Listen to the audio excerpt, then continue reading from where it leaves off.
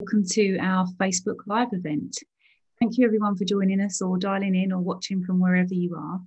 This evening we're going to be talking about GPs and GP access and um, all the things that we've been facing over the past year. The past year or two, we know that the NHS has been under some real strain and we've been focusing a lot around our hospitals and our carers and our clapping for carers, but we wanted to really focus on GP practices this evening. Now, over the course of the past few weeks, we've been asking people to feed in their questions, and their questions have informed what we're going to talk about this evening. So, we're just going to have a bit of a discussion around the things that are happening across GP services. Now, this is my first Facebook Live event or Facebook event, so do bear with me. If you are hard of hearing and you want us to send this video out to you with subtitles on, please put a little note in the chat. Equally, if you would like to access this in a different language, put a little note in the comments section and we can um, ensure that somebody gets back to you afterwards and, and helps you with that. I said chat and I mean comment section. You can tell that I'm new to this Facebook, can't you? Now I've got, um, I'm not going to be doing this on my own this evening. I've got a panel with me. So I'm just going to ask them to introduce themselves now so you know who it is that's talking to you. So I'm going to hand over to you, Samantha, first. Hi, I'm Samantha Young. I'm practice manager in Maldon. Fantastic, thank you. Teresa? Hi, I'm Teresa and I'm a social prescriber for Colne Valley PCN. Fantastic. And Dr. Shaw? Hello, I'm Dr. Shaw. I'm a GP in Southend area uh, and I also work uh, as a clinical director for a primary care network and I'm sure we'll discuss what that means a little later on.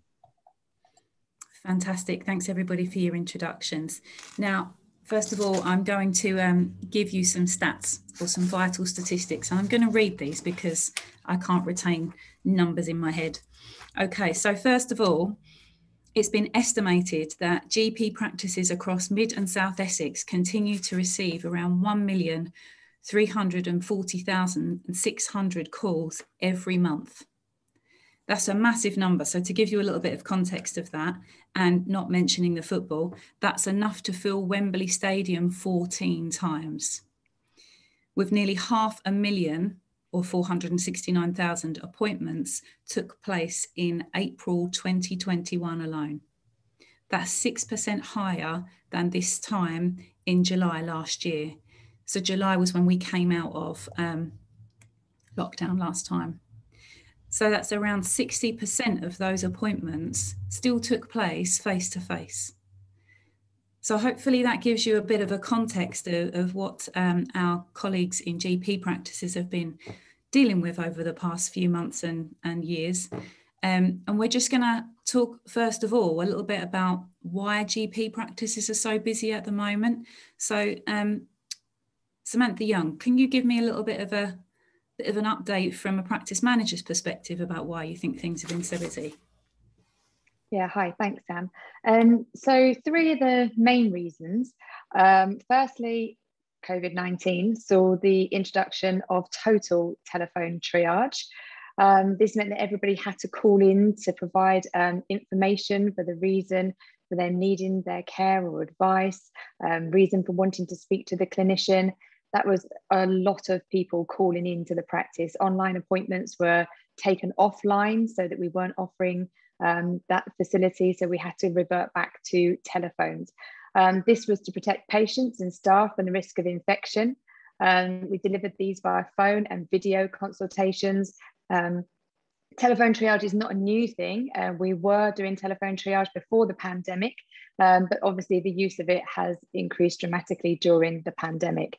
So the phone lines with everybody calling through for their appointments is number one. Number two, the COVID-19 vaccination program.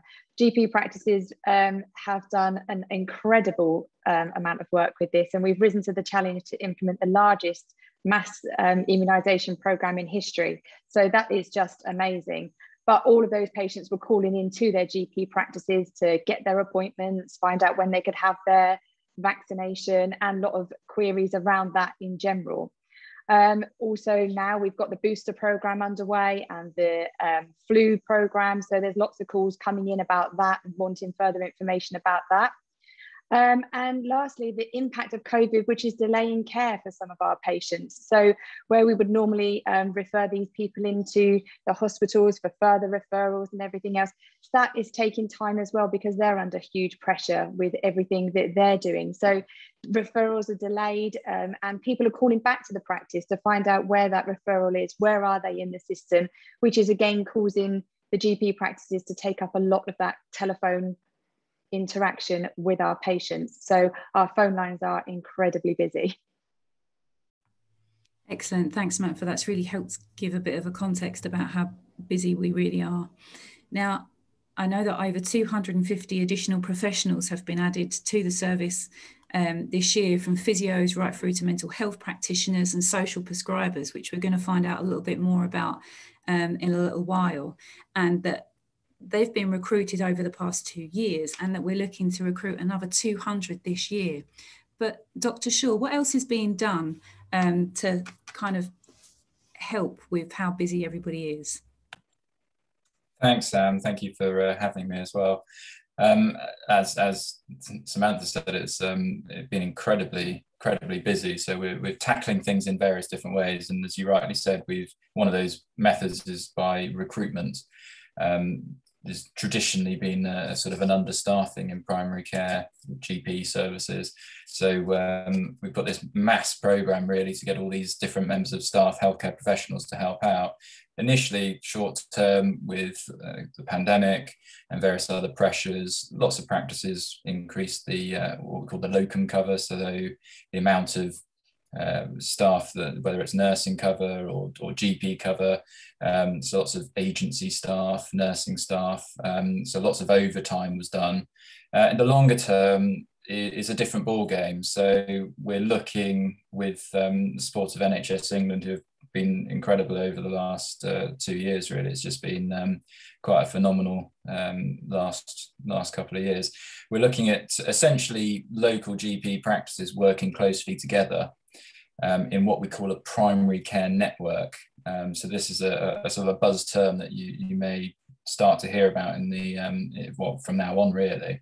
So local practices of varying sizes working closely together to look at their local area, their local needs for their patients. Some patients, some practices may have issues with more elderly, frailer patients that need different types of access. Others might be working closely around university centres, for example, and have a younger, more dynamic, mobile population. So we're looking at how we address those issues. So these primary care networks have been set up, um, which, as, as you alluded to, with the 250 additional um, healthcare professionals and more to come, uh, those range from as you said, social prescribers, and uh, we've got Terry coming on shortly, who's going to explain her role. Um, a brief uh, sort of uh, introduction from me is that essentially a social prescriber is, I, I would call it the yellow pages of social care. So when patients come to me and ask me a question that I do not know the answer to, the one person that will know that answer will be someone like Terry.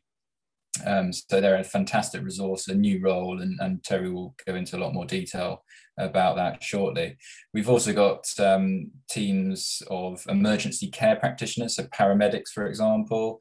Uh, a lot of practices and primary care networks have been working to get uh, uh, those staff recruited, which can help with home visits, for example, care home patients, so those that, that need those visits we're working really closely with uh, with the hospitals and the community services as well.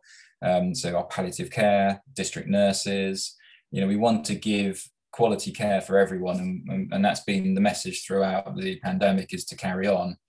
Um, the worry I've got is that, that obviously over the last year we haven't seen that many people wanting to come out towards us unless it was for things like COVID. And that is really, really increased of late um, to the point where people are coming with lots and lots and lots of problems, which I'm more than happy to help with.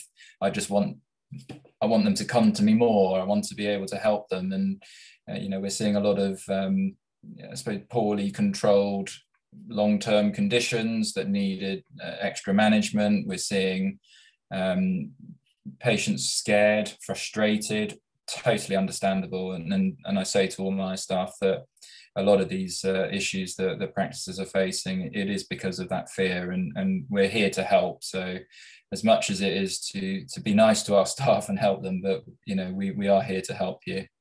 Um, other other staff, you mentioned mental health professionals. So we've got um, trying to give that bridge that gap between mental health and the community. Uh, sadly, COVID has seen a, a, terrible, terrible increase in, in mental health cases that, that's probably uh, certainly about 30, 40% um, of, of, the patients I speak to almost every day. Um, as you said, face-to-face appointments never stopped. We've been doing those throughout. It's just trying to work out who can we who can we see that needs to be seen, who can we manage via a phone, here who can we do uh, consultations by video. My area, for example, we've got a bit of a split. We've got elderly, frail patients that that obviously those kind of access roles are, are, are trickier, and we've got some very young um, patients that, that commute to work, for example, and having that ability to access different different methods of consultations is huge for them. Uh, we've been doing a lot of all of this before. It's just, uh, as you said, it's it's escalated um, in, in a positive way with, with COVID. And there's not many positives to have come out of it, but certainly the sort of technological advancements has been one of those positives. Um, other other things um, that we've been doing. So you might have seen in some of your practices something called a surgery pod. So that is a, a, essentially a, a, device that can measure your blood pressure, your height, your weight. So you don't need to go and see the GP or the nurse if it's just for a, um, a blood pressure check that links automatically with the computer systems. You, the, the, GPs have set thresholds so that any abnormal results are flagged to them so they can then contact those patients. Um, most, you know, lots of lots of GP practices have got the ability to do mobile ECGs, mobile blood pressures. So again, we don't we're trying to limit those um, those need, you know, trying to help the hospital so we don't have to um, sort of keep burdening patients in that way. So there's an awful lot of things that are going on. Um, I, I could list a hundred more if you want. So I'm, I'm conscious of uh, uh, others wanting to speak. Thanks, Dr. Shaw. It's really useful, and we may come back to some of those if we if we don't get a chance to talk about them right now. But Teresa, you mentioned your role earlier on. Could you just tell me a little bit about what a social prescriber is and and what you and your team are doing to help people? Yeah, sure. Um, hi, I'm Teresa, and obviously I'm a social prescriber, which many people don't know we actually exist at the moment. Um, we're a relatively new service and we've been working GP surgeries throughout the UK, so you'll find one of us wherever you live. Um, our main focus is to give people the time and the focus to delve down into what matters to them. So it's a more of a personal, holistic approach that we actually you know, take on. Um, our role within the GP surgeries is to support the patients who present with a medical need, which underlying actually is a more personal social element um, rather than medical.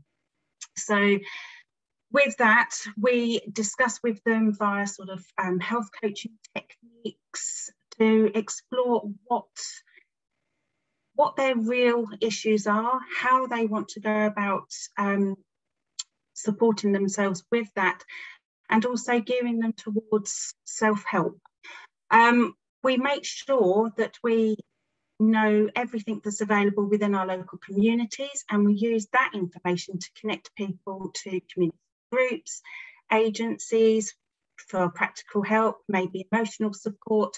We also um, link in with nurseries, libraries, book clubs, um, local cleaners, it could be anything um, to help someone live as independently as they possibly can within their own home whilst not accessing medical or statutory services.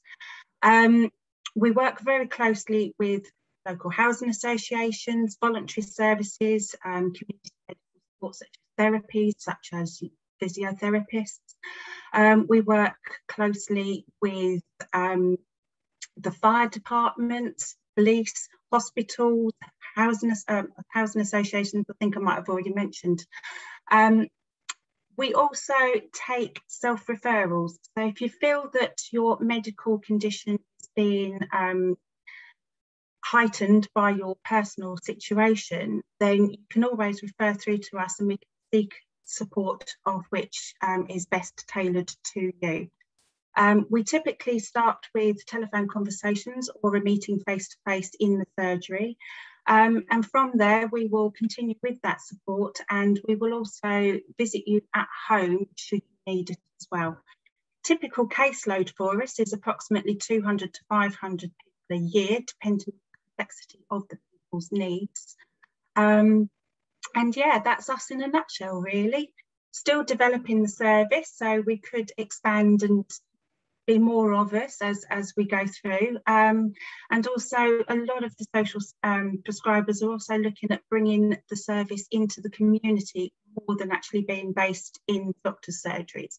For example, myself and um, my colleague who's a health coach, we're looking at having what's known as a wellbeing hub within our PCN um, so that we can support everybody within their own villages, towns, so that they don't have that feeling that they're going to the doctor's surgery and they have to talk medical, so that it's a nice relaxed feeling for them. And that is happening across the country. So, yeah. Brilliant, thanks. That was really, really helpful and, and great to hear about some of these other roles within within the sector that can really support people. Now, Dr. Shaw, you mentioned earlier on about how um, things are changing and we're, we're taking a more digital approach. But I'm interested, uh, Samantha, from a practice manager's point of view, what kind of digital um, offers have we got that are, are helping people in GP practices? Uh, so there's lots available um, out there. The main one that obviously probably is on everybody's mind at the moment is the NHS app.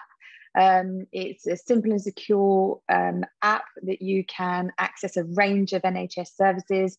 Um, you can download it onto a smartphone or a tablet.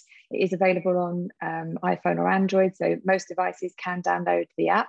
Um, primarily, people have been downloading it recently for their COVID 19 vaccination status. So you can get your COVID um, pass for you to be able to go to events or for travel reasons. But also, there's much more to the app as well. You can get um, information about coronavirus, which obviously was really helpful in the beginning of the pandemic. Um, ordering your repeat prescriptions. So, if you're on a repeat prescription, it's listed within the NHS app, which you can then order. Um, it will then go through to your GP practice. Um, the practice will process your prescription and send it on to your nominated pharmacy if you have one, or if you get it from the in house dispensary, then it will be left there for you. Loads of health advice on there. So, for um, worried parents, um, there's some good information on there. Um, there's also a child health app that Mid and South Essex have uh, produced as well, which can give some good advice to parents with young children. Um, you can view your GP health record. So lots of information in there regarding your recent test results. If you've had test results um, and you don't want to call through to the surgery to get those results, they're all available within the NHS app. Um, and it's all secure um, to be able to get that for you. Um, you can register. Um, it also tells you about how the NHS uses your data. Um, I know that was a hot topic a few weeks ago about the um, NHS and sharing data. It is a perfectly secure app um, and it tells you all about the data that we hold on you, how we share this data, and who we share your data with as well. Um, GP practice websites, they're a great source of information um, about vaccine clinics, about the services that we offer, who, what staff we have at the practice, any special events that we have coming up. Um, particularly, there was some information recently about Carers Week and wanting to celebrate our carers and volunteers. Um, so that's all really on our on practice websites. Um, NHS 111 online, um, if you've got a medical problem, you're not sure what to do, 111 online is a really good source um, as well. Also, our community pharmacies, they're, they're full of um, very knowledgeable pharmacists who are there to help for all your medication queries. Um, and they're a source of information for minor illnesses um, and conditions that don't necessarily need to come through to the GP. The pharmacists are so well placed to deal with those that, that they can really help us out. So check out the, the uh, local pharmacies in your area for their websites and what they're doing as well. Also in the talking about mental health and probably people struggling at the moment during the pandemic and coming through that, um, people can self-refer into talking therapies. It's a direct service. You don't need a referral from your GP. You can self-refer um, into these services. And all of these information um, tools are found on general practice websites, their Facebook pages, um, and like I say, within the NHS app, which has got a wealth of knowledge and information in there. Excellent, that's really useful. Now, Teresa, you mentioned and, and Samantha, you built on some of the ways that we can help ourselves in terms of um, self-care and accessing education materials. Dr. Shaw, is there anything else that's being done around that that you want to share with us? Yeah, I think I think the key is that we just want to fully encourage patients to contact their GP services. Um, we're we're here to help in this, and I appreciate that it's really really busy, but but keep trying because we are that we are there, and lots of different practices do different have different ways that you can contact. So um, some will have email options, some will have um, messages through the systems, some um, it, it's all by the phone lines, and everyone's uh, to their population.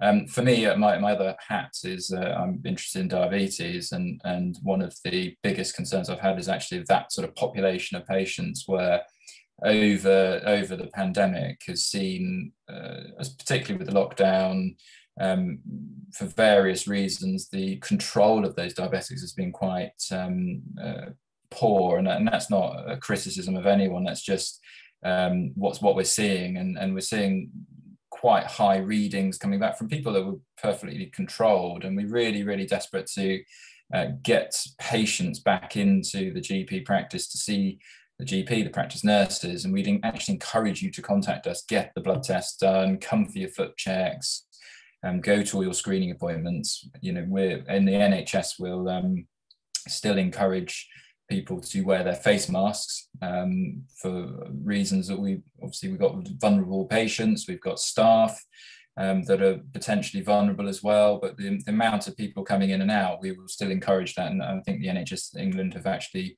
um, supported that stance that that uh, healthcare um, areas um, face masks will still be compulsory post uh, uh, the 19th. So I think that the main message is please, please contact us. There's there's lots of um, as um, we've heard, lots of ways and different resources out there. So it's not always that it's the GP that has the answer. Um, I have excellent staff around me where I don't know the answers to various things. I, if, if you're coming for a dressing, you know, don't come and see me, see, see the nurse. They're far more experienced. So it's what you'll find is that we're trying to sort of navigate patients to the best person to deal with their problems. Uh, and that's the way forward. But we want to work as a team, and, and that team involves you, the patients, as well. And uh, we're here to help guide you as to the best possible care that you can get. Everyone has a preconception what they think the best care is, um, but we're here to negotiate and work out together what that might be. Now, it might end up that um, that you need to see someone in the hospital. It might be that we can manage things in primary care with the GP. It might be that uh, we need to see mental health services. It might be that we have Terry, the social prescriber, and lots of areas of those. Um, every area will have different resources, different staff, different things available for you and and that's based on what sort of issues that they're having. So some might have um, you know two or three social prescribers. Some might have more um, emergency care practitioners doing visits because they've got lots of housebound patients. So have a look look at the websites as well from these practices. An awful lot of information out there that can help. And and there there are services that, that you may not have realized that are already running were already running before. And and and even more so now as uh, as we we know that we're coming out of this pandemic with a lot more work to do if anything more than ever before. Um, so that's why the this sort of big recruitment drive as well. And it's all for you the patients Brilliant. Thank you, Dr. Shaw. Um, little bit of a difficult question now. We often see our healthcare professionals as superheroes, and they've been they've been painted as heroes across the past 18 months, and rightly so. But they are still humans, and they are still susceptible to catching this um, this awful virus, this awful pandemic. What can we do to actually support those individuals? Um, and is this a problem that we're experiencing in, in our GP practices across Essex? Samantha, is it is it something that you're noticing in your practice? Absolutely. Um, staff are going into isolation again. We were much back to where we were before when we were all being contact traced. I've got at least three members of staff in isolation this week. Um, so unfortunately, that means that they can't work in the practice, but we have adapted our working ways and they are working from home. Um, they do follow the same confidentiality and the same governance as they do at home as what they do in the practice, but they are able to help support the practice by working from home. Um, obviously, not the same as being in the surgery, but they are there to offer that help. But it is having a big impact on um, surgeries and surgery staff. Receptionists um, are in isolation, which means we have to find cover at short notice, trying to get the calls answered, keeping up with the demand. It is so, so difficult at the moment. Um, and with the case rising, case rising and everything, it, it will only get worse we can see. So we're trying to limit that. The face coverings are so important to, to keep wearing your face mask, particularly when you're coming into the healthcare settings. Protect us, protect yourselves. Um, we need to be here for you and we need you to help us do that by protecting us, by keeping your face masks on and keep safe. Brilliant, that's really helpful. And thank you for that reassurance over the confidentiality and the fact that despite the fact that people are having to isolate because they are still human, they're still able to support the service. That's really helpful. Now, a couple of you have mentioned about digital services, about online appointments and so on and so forth. But with a really diverse community we've got, with um, the challenges that some people face accessing digital, um, what are we doing to make things accessible for everybody? Dr. Shaw, I'm going to pick on you first of all. Mm. That's okay. Um, no, I mean, we, we, we see these sorts of issues in our practice. As I said, we've got um, uh, quite a diverse range of patients. So it's trying to trying to cater for everyone, and, and that can be difficult. So we we know that there's a lot of patients that have online access. So having appointments online um, having digital ways that they can they can be uh, seen or spoken to. Um, in the area, there is a sort of like an artificial intelligence um, tool that most practices will, will be adopting um, uh, called Doctorlink. There's lots of other ones that practices have as well, um, in which questions can be posted and answers uh, can be received by patients. And um, similarly, if those questions that are posed um, require some form of uh, communication or, or, appointments or, um, or even visits, for example, they go straight to the GP practice. So we kind of to some extent, it's easier to cater for that uh, proportion of um, patients that have that ability to use their phones, their mobile phones. Lots of practices of different ways of um, tackling um, prescriptions, for example, to try to limit the number of um, phone calls coming to the surgery. So there's different tools out there so that it diverts the calls straight through to um, a, a, a, sort of a, a digital platform for your medication re-prescribing.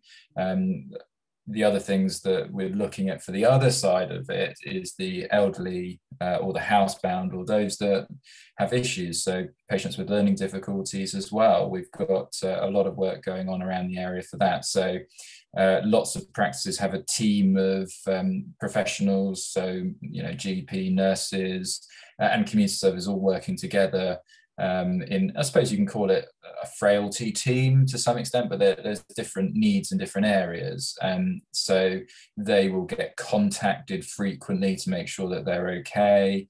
Uh, lots of areas use those services to link in with social prescribers, um, depending on the needs that they've got. So they have frequent, I suppose, what you call touch points, so that if there's any issues, they can be raised. Uh, lots of practices have um, uh, like a hotline for those that um, if they're needing visits, they can come straight through to, to sort of uh, not hang on waiting too long in the in the phone queue for other things. Um, uh, we've got various uh, visiting services around, as I mentioned before, um, that can help with those care home projects. There's a lot of work in um, Mid and South Essex around care homes and lots of support uh, from, from the, the, the, sort of governing members, as it were, in terms of linking care homes to practices and these network of practices so that um, regular frequent checks are done on those patients uh, lots were done anyway, but it's trying to almost have a home allocated to an area rather than multiple GPs, um, so that you can almost do your ward rounds, for example, and see those patients more frequently. Um, and we're doing similar work with uh, with patients with learning difficulties, and and obviously with COVID, we've been very worried about uh, them as well. Um, so we're trying to continue and sort of up our learning difficulty checks, make sure that they've had regular uh, touch points and checks as well. Thanks, Dr. Shaw. It's really useful. We've done some work at Healthwatch Essex around accessibility during the pandemic um, and some work with um, Healthwatch Suffolk as well as Essex County Council, um, which really identifies some of those challenges and some of the things that are happening to really support those individuals. Um, I'm very conscious that the past couple of years have been dominated by COVID, but people still get ill with other ailments. And we are approaching, you know, I know we haven't really had summer yet, but we are approaching winter season. Um, Samantha, what's happening um, in, in terms of that? Well, you say we're still in summer, but we're planning our flu campaigns. Um, so for general practice, um, right now we're in the middle of trying to plan our flu campaign for all of our patients. Um, that involves looking at premises where we're able to hold our clinics and figuring out exact delivery dates from the suppliers as to when these um, vaccines will be delivered. Um, so really, I guess the message out to the to the patients is when you are called for your flu vaccine, please come and get your flu vaccine. That will definitely help protect you through the winter. Um, obviously, that will be with your COVID booster as well. We'll be offering that to you. Um, keep an eye on your practices' Facebook pages, websites, and they will be in touch with you when it's time to book for your flu vaccine and your COVID vaccine as well. So, yeah, protect yourself this this coming winter with your flu vaccine. We will be working closely with the community pharmacies um, as GP practices. The um, the grouping is extended again this year to our um, up to the age of 50 so we've gone down to the 50 year olds again for this year. So that's a much larger group than what general practice is used to doing. Um, so our community pharmacists will be helping support our program as well. So together we'll be able to hopefully deliver a really good flu campaign like we did last year as well. Fantastic. It's important to know that you know we're still catching or still susceptible to catching flu and colds and coughs. It, not every time you have a cough is it COVID, but people still get poorly this time of year. Okay, so we've covered an awful lot in the last sort of 45 minutes. Um, and I'm conscious that we've talked a lot about specific things. So we've talked about NHS app and we've talked about um, some of the other roles and, and so on and so forth.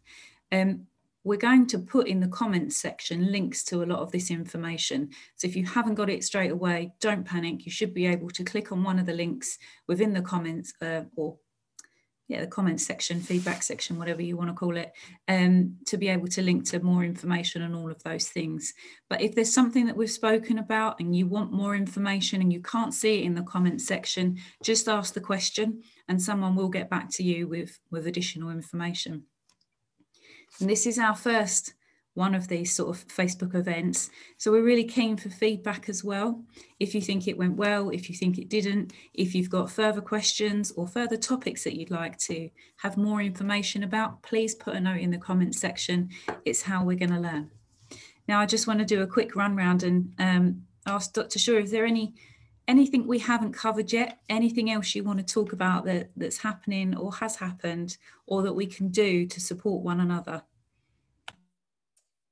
Um, I'm, I'm, sure there's an awful lot that's going on, and there's an awful lot of questions that patients have. And I, I think the first thing to say is that I'm probably biased, but I think you know the NHS in general is probably one of the greatest achievements that we've we've created in in the United Kingdom, and and we should cherish that. And we are all here to work together. Um, we do it because we love it, and I I'm incredibly passionate about um, uh, primary care GP work, uh, and things are, are changing for the better. Um, services are adapting to the needs of patients. And we want you to contact us we don't want to be having those discussions that, that sadly we've been having with some patients about late presentations of various things. You know if you're worried then then contact us and talk to us. It doesn't matter if if it's over the phone or, or we need to get you in for a for a face-to-face appointment. The main thing is that we are here and i you know don't don't worry too much. The, the, the phone lines are busy because we, we're dealing with a year's worth of work in a short space of time. Just keep trying be patient. We are here and we've never stopped and we never will. We are always going to be here for you. Fantastic. It's really good to hear. Samantha, any closing comments from you, from your perspective as practice manager? Um, I guess as practice manager, um, I would just like to say how incredibly proud I am of the GP staff across the Mid and South Essex. Um, it's a, been a really hard job um, over the last 18, 18 months. Um, and the staff have just been so good. They, they really have stood up to all of the challenges that has faced them, changing in procedures, changing the way that we worked, instantly switching to a different model of care stepping up to the vaccination program. I am just so proud of every single one of them and the way in which they have dealt with this um, pandemic and the changing circumstances and everything. So, for me, I would just like to say a massive thank you to everybody in primary care for everything that they have done to help keep everybody as safe as they have. I think everyone's going to um, echo that, um, Samantha. I think it's a really valid point, well made. So I suppose in summary, if I had some closing comments, they would be keep accessing your GP services. They're still open, they've always been open, they've always been there, and they want to support you. There are more than just doctors at GP practices. There are loads of different roles from the social prescribers that um, Teresa's talked about to the mental health professionals and those advanced prescribers there are loads of people out there looking to help you. Help them by wearing your mask when you go and see them, making sure that you look after yourself, however that may be, access that information online. But most importantly, be kind. Be kind to each other, be kind to your professionals. So, my final comment today is just a massive thank you. Thank you for dialing in and listening to this. Thank you to my panel for giving up your evening, for all the prep you've done and all that you do day to day. And thank you to the team that you can't see who have helped set all this up behind the scenes, have been gathering the questions, have been putting these events on, and could continue to keep us informed. So that's all from me. Thank you, panel. Thank you, everybody else. Unless there's any closing comments, I'll, I'll close today. Excellent. Thanks ever so much.